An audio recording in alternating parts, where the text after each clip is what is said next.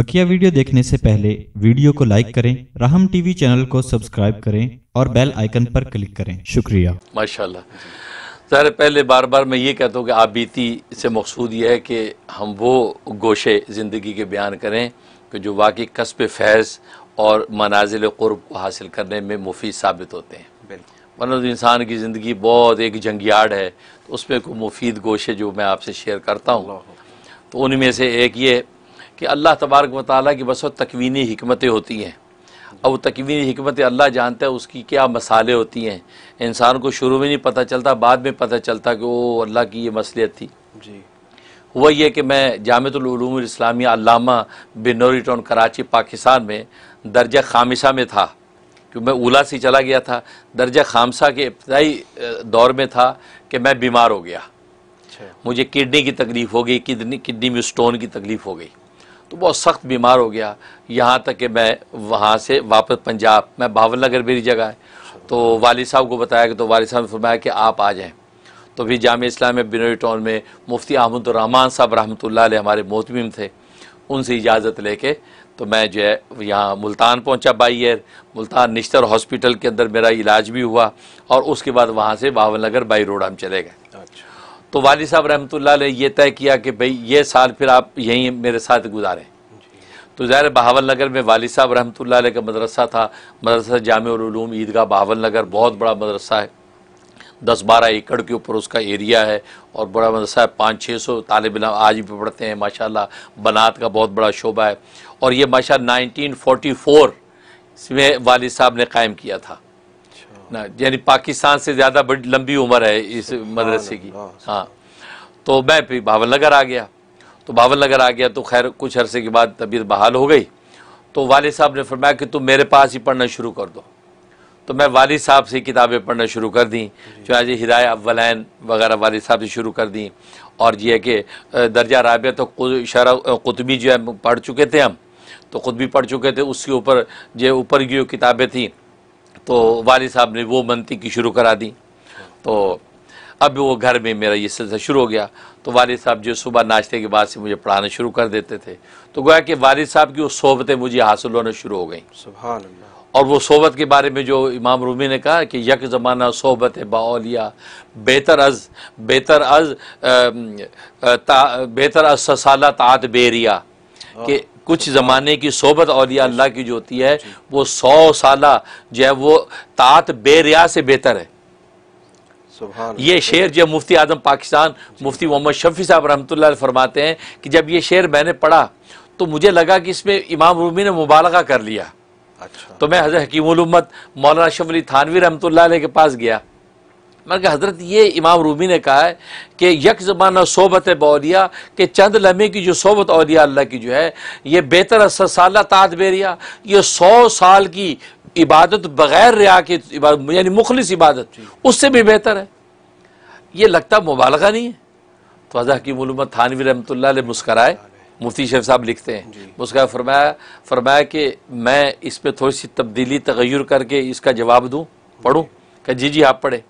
फरमाया कि असल में इमाम रूमी को यह कहना चाहिए था कि यक ज़माना सोबत बालिया कि चंद लम्हों की सोबत जो है औलिया अल्लाह की जो है बेहतर अज बेहतर अज लख साल तात बेरिया मैं ये कहता हूँ लाख साल की इबादत बेरिया से बेहतर है। उससे तो सौ साल का मैं कहता हूँ लख साल। ये ऐसी अक्सर बात है। तो मुफ्ती शफी साहब रहमतुल्लाह फरमाया कि यार इसका मतलब है कि ये बात ऐसे नहीं कि सोबत क्या चीज़ है और यही वजह कि हमारे दीन की बुनियाद ही सोबत पर है कि नबी करीम सल्लल्लाहु अलैहि वसल्लम की सोबत ही तो साहबा ने इख्तियार की। उसी नस्बत से साहबा का नाम साहबी बना है। साहबा को मौलाना नहीं कहते हम मुफ्ती साहब नहीं कहते साहबी कहते हैं। सोबत इसलिए कि उस सोबत इसका मतलब नबी की वो वो अता करती है उसकी कोई नज़ीर नहीं। बिल्कुल। अब अल्लाह तबारक व ताली की तकवीनी हमतें काम कर रही थी तो मुझे वालिद साहब के पास वो वो साल वालिद की साहब की सोबतें नसीब हो गई जी। कि मैं जनाब उनके पास सबक पढ़ता हर रोज़ उनके पास बैठता और जब भी मौका मिलता तो मैं वालिद साहब के बिल्कुल अटैच रहता उनके हर वक्त पैर दबाता रहता उनकी इलमी बातें सुनता रहता। यानी ये बस ज़िंदगी बना ली मैंने। और जय वाले साहब जो है वो मेरी पढ़ाई की फ़िक्र करते। अब ज़ोर के वक्त में अगर लेटा हूँ ज़ोर की नमाज़ अजान होगी तो वाले साहब आते मेरे दरवाज़ा खटखटाते। अब फरमा ओ मोनरा मुझे प्यार में कहते थे मुनीर नाम है। ओ मोनरा ओ मोनरा उठ वज़ू कर नमाज़ पर अच्छा। उठ वज़ू कर नमाज़ पर सबक ला। हाँ ये कहते थे। क्योंकि वाली साहब रहमतुल्लाह तो असल तो टर्किश हैं। तुर्की हैं समरकंद बुखारा से हिजरत करके वो पहुँचे हैं। आज भी हमारा जो वतन है जो ददियाल वो खुतन में चाइना में। खुतन सूबा सिंकियांग में। तो वहाँ मेरी फूफी वगैरह मेरा सारा खानदान वहीं है तो वाली साहब का। तो वाली साहब हिजरत करके यहाँ आ गए। तो उनके लहजे के अंदर उर्दू बोलने में लहजा उनका ऐसा था। तो मुझे ये कहा करते ओ मनरा उठ वज़ू कर नमाज़ पर है सबक ला। तो मैं फिर उठता वज़ू करके जनाब नमाज़ पढ़ के फिर सबक लेके चला जाता। तो वाली साहब जो है वो अ, मुझे जो है सबक पढ़ाते।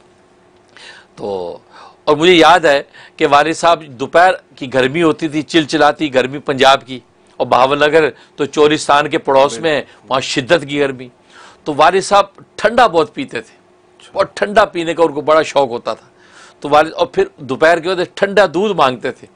मुझे कहते कि वो ठंडा दूध बनाओ। ठंडा दूध बनाओ। अच्छा। हाँ। अच्छा वाल दोपहर के बाद वहाँ आपको मतलब सो जाते हैं लोग। वालदा भी खैलूला कर रही है सो रही हैं दोपहर के खाने वाने खा के खिला के और तो अब वाली साहब मुझे सबक के लिए उठा लेते मुझे कहा ठंडा दूध बनाओ।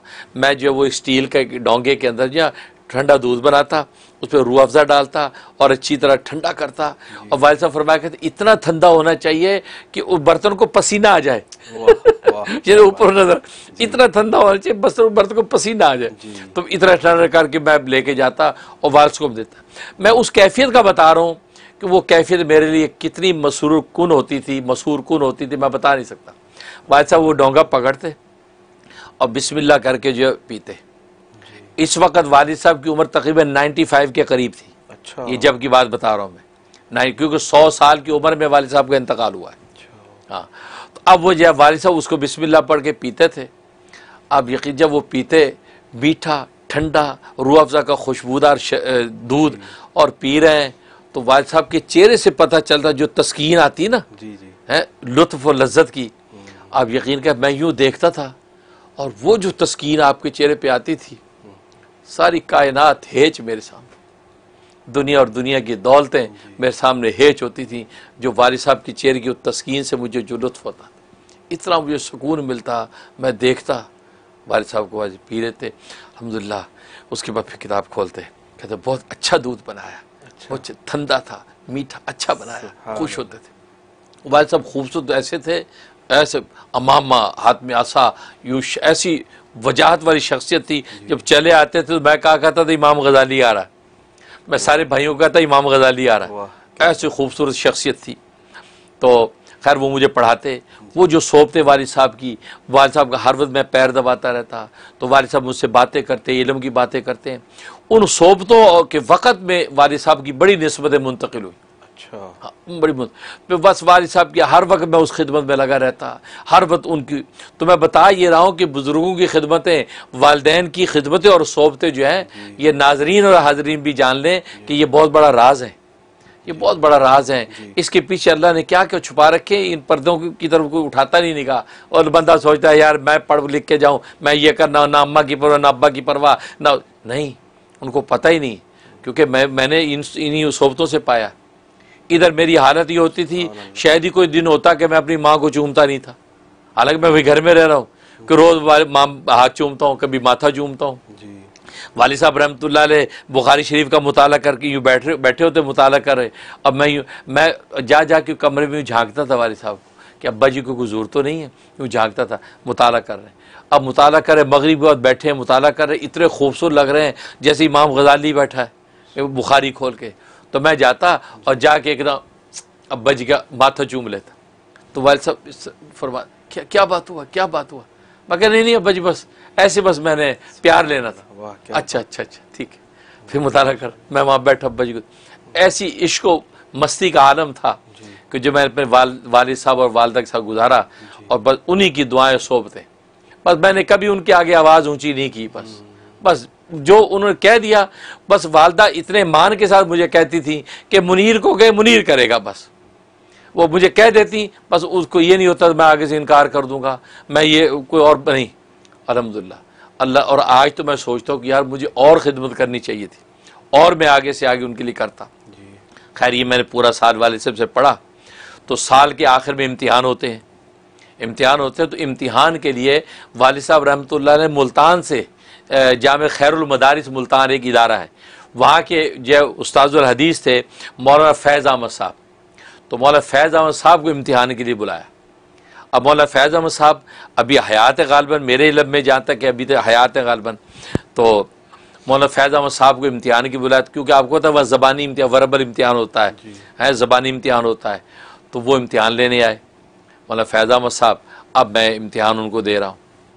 वो हिदाय वलैन का इम्तिहान लिया दूसरी किताबों का इम्तिहान लिया। तो वो जब यहाँ से इबारत पढ़ो मैंने इबारत पढ़ी तर्जमा करो मसला समझाओ मैं सारा उनको जवाब दे रहा हूँ।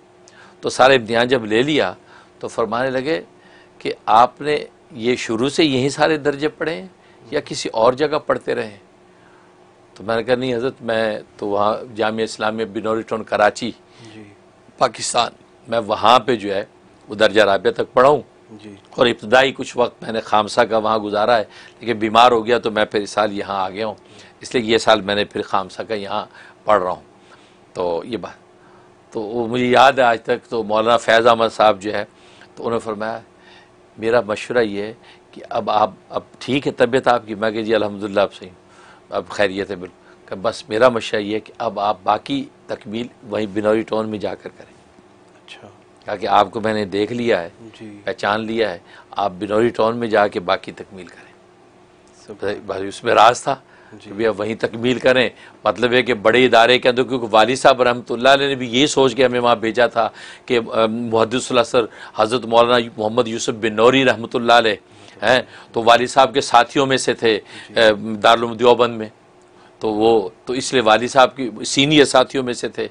वहाँ के इब्तदाई दर्जे के उस्तादों में थे और वाली साहब रहमतुल्लाह तखस वगैरह कर रहे थे देवबंद में। तो तो इसलिए आपने हमें वहाँ भेजा। जी। तो वहाँ भेजा तो इसलिए तो उसी शौक में गए थे लेकिन बीमार होकर वापस आए। तो मौला फैज़ अहमद साहब ने मुझे सारी मेरी सुन ली सारी बात कहा कि मैंने आपको पहचान लिया है आप जो है बाकी दर्जों की तकबीर वापस चले जाएँ वहीं करें। तो मैंने फिर वाल साहब से बात की। तो बाकी तकबीर मैंने फिर वहीं की। दरमियान में जो मिशकात का जो है जो साल था वो मैंने जामिया इस्लामिया इमदादिया गुलशन इमदाद गुलशन पीपल्स कॉलोनी सतियाना और फैसलाबाद अच्छा। पाकिस्तान। वहाँ पर मैंने जो है ये तकमील की है। अब ये पूरा जो मैं एड्रेस का नाम क्यों लेता हूँ? इसलिए लेता हूँ कि सोशल मीडिया जो है ये सोशल मीडिया एक ऐसी चीज़ है मैं नाजरीन से भी कहता हूँ कि शहर का भी नाम लो उस इलाके और मुल्क का भी नाम लो क्योंकि सोशल मीडिया देखने वाला कोई भी हो सकता है। अब आप कहते हैं जी भावन नगर है? अब पता नहीं मलेशिया वाला कहते हैं ये भावन नगर कहाँ है? नहीं पता लगता ना? तो मुझे खुद बात कन्फ्यूज़न होती है। इसलिए उनको भी चाहिए कि पूरा नाम लिया करें। शहर का नाम सूबा और फिर मुल्क का नाम। जी ताकि पता चले फलां मुल्क का ये शहर है। ठीक है। इसलिए मैं पूरा नाम लेता हूँ। तो तो तो वहाँ जो वो गुलशन इमदाद जो है वहाँ पे जाम इस्लामी इमदादिया में मैंने फिर मिशकात का दौर गुजरा उसके भी वाक़ात है वो भी शेयर करूँगा। तो खैर तो इस तरीके से फिर मैं वापस जो है जो है वो बिनौरी टाउन में तकमील की। लेकिन मैं वो जो सोबतें मुझे वालिद साहब की मिली उसके बाद फिर नहीं मिली, क्यों? ज़ाहिर है कि मेरी दौरा हदीर के बाद शादी हो गई, वहीं तखसस किया और ये वारिस साहब का उसके बाद विशाल हो गया। लेकिन अल्लाह की हिकमतें थी। वो दरमियान में अल्लाह ने मुझे एक साल ऐसा दिया है कि मैंने शब रोज़ वालिद साहब अलैह साहब गुजारी। यहाँ तक कि उनका आशा उनको पकड़ाना जूते पहनाना मस्सी लेके जाना। एक दिन अम्मा ने मुझे कह दिया कि तुम्हारे अब्बा जी को रात को पता नहीं क्या हो गया कि वो उनको ऐसी कोई दिल की तकलीफ़ हुई कि अपने कमरे में से वो बिल्कुल घुटनों के ऊपर रुड़कते हुए आए और आवाज़ें देते रहे मुझे। और फिर मेरी आँख खुली तो मैंने जल्दी से उनको देखा क्या हुआ? कहा कि दिल में कोई तकलीफ़ है। तो मैंने पानी पिलाया। तो मुझ पर यह कैफियत हो गई कि यार वाली साहब मस्जिद में नमाज़ पढ़ने जाते हैं और वाली साहब ईशा की नमाज़ देर तक पढ़ते हैं। सारे मदरसे के तलबा सब आ जाते हैं तो अकेले फिर आते हैं बाद में। तो मैं कि खुदा न खासा वालिद साहब पर ऐसा कुछ अटैक हो गया वहाँ तो वहाँ अंधेरी मस्जिद में इतनी दूर वालिद साहब घर में कैसे पहुँचेंगे? क्योंकि ज़्यादा दस बारह एकड़ के ऊपर मदरसा है, उधर मस्जिद है, यहाँ इतनी दूर घर है। ये कैफियत होनी थी बस मैं हर वक्त वाली साहब के साथ मस्जिद जाना। वहाँ पे नमाज़ पढ़ के पीछे बैठा हूँ। वाली साहब अब नवाफिल पढ़ रहे हैं सुनतें पढ़ रहे हैं मुनाजात कर रहे हैं दुआएँ कर रहे हैं। सारे मदरसे के तलबा साजा चले गए। अकेला मैं बैठा हूँ वाली साहब हैं दुआएँ करके उठते हैं। तो मुझे देखते हैं कि मैं बैठा हूँ। तो मैं वाली साहब को जल्दी उठाता हूँ असा पकड़ाता हूँ जूते पहनाता हूँ उनको घर लेके आता हूँ। बस ये पूरा साल मेरी ये रुई रही। वहाँ घर से फिर इसी तरीके से जूते पहनाए। तो एक एक खातून आई हुई थी। उनका नाम दिया आपा हमदा। आपा हमदा मदरसे के कारी अब्दुल गफूर साहब। ये चतराल के थे, वहाँ के उस्ताद थे, इमामुल कुर्रा थे, कारी अब्दुल गफूर साहब, रहमतुल्लाह अलैह। और ये कारी अब्दुल गफूर साहब कौन है? ये हज़रत मौलाना अब्दुल क़य्यूम साहब, रहमतुल्लाह अलैह, जामिया इस्लामिया बिनौरी टाउन कराची, पाकिस्तान के नाजम तालीमात थे। उनके छोटे भाई हैं। क्योंकि ये मौलाना अब्दुल क्यूम साहब जो हैं जो जहानाज में तालीमत बिनोटोन की ये भी वालिद साहब के शागिर्द रहे हैं भावल नगर में। अच्छा। उनके छोटे भाई भी शागिर्द हैं। छोटे भाई की यहीं पे जाब हो गई हमारे वालिद साहब के मदरसे में और जो है वो जो कराची आ गए तो यहाँ हज़रत बिनौरी के साथ पढ़ा और उसके के पास पढ़ के फिर बिनौरी टाउन में जॉब उनकी हो गई। तो ये तो कारी अब्दुल गफूर साहब की वो सास हैं।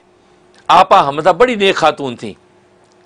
तो वो कमरे में बैठी थी जाली का दरवाज़ा था तो पीछे पर्दे में थी और मैं मगरिब का वक्त तो मैं वालिद साहब को जूते पहना रहा हूँ उनको असा पकड़ा रहा हूँ उनके कंधे पर रुमाल रख रहा हूँ और उनको लेके चल रहा हूँ।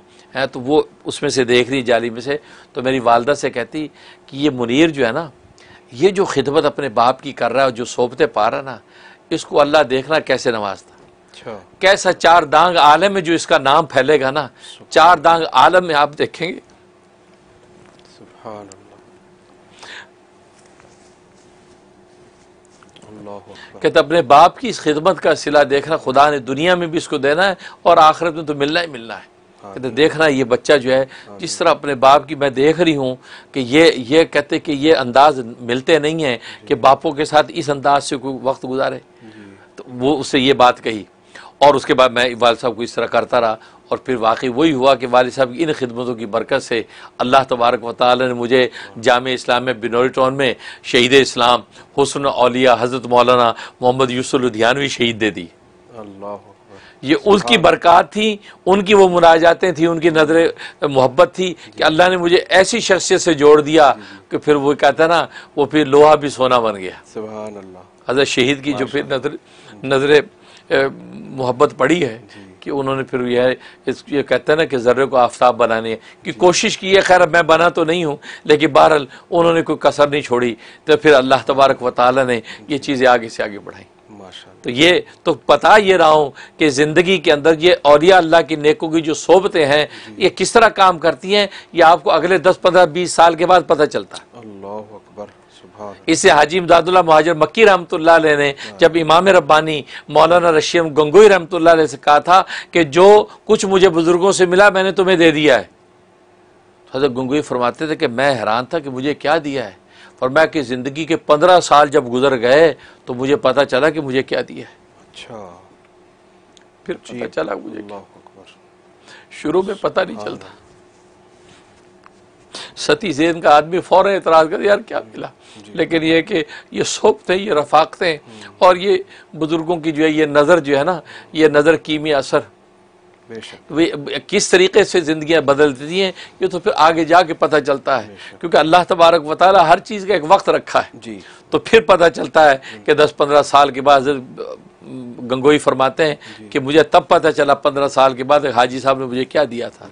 फिर तो वही बात थी कि दिन और रात हो हरवत खुदा की कुर्ब की मंजिल पर आवाज़ कर रहा हूँ। हाँ, अल्लाह तो ये है तो ये है सोबतें। तो वालिद साहब की मुझे इस तरह सोबतें हासिल हुई और ये तकवीनी हमत किस तरीके से बनी मैं गया फिर वहाँ इस तरीके से उन उनकी उनकी नस्बतें मुंतकिल हुई और उनकी ख़ास फिर वो जो इलमी निकात बयान करते थे जो बातें करते वो अल्लाह ने मुझे जब वो हिफ्स करवाए याद करा दिए वो फिर अल्लाह तबारक वता आगे हर मौके पर जहाँ भी दुनिया भर में असफार उसको बयान करने का मौका दिया। फिर अहले इलम में उन्हें उसकी कदर की उसका फ़ायदा उठाया और आज तक ये सिलसिला जारी है सारी है। तो भाई यही है कि भाई ये दुख है कि सोबतें और रफाकतें और होनी चाहिए थी। लेकिन बारह जितनी हुई उससे कस्ब फैज़ की कोशिश की है। अल्लाह तबारक वाली ताली जो इखलास के साथ और लफ्ज़ों को माफ़ करने के साथ साथ उसको कबूल मंजूर फरमाए। आमीन या आलमीन। आमीन आमीन। अल्लाह पाक हमें भी अपने वालदेन से सच्ची और ज़्यादा से ज़्यादा मोहब्बत करने की उनकी खिदमत करने की तोफ़ी अदा फरमाए और अल्लाह के वलियों से भी उसने जन मोहब्बत और ख़िदमत करने की तोफ़ी अदा फरमाए। हज़रत ये बहुत बड़ा असासा है जो अल्लाह ताला ने हमें दिया हुआ है जिनके वालदेन हैं जिनको वलियों की सोबत नसीब है उसकी हमें कदर ज़्यादा से ज़्यादा करनी चाहिए।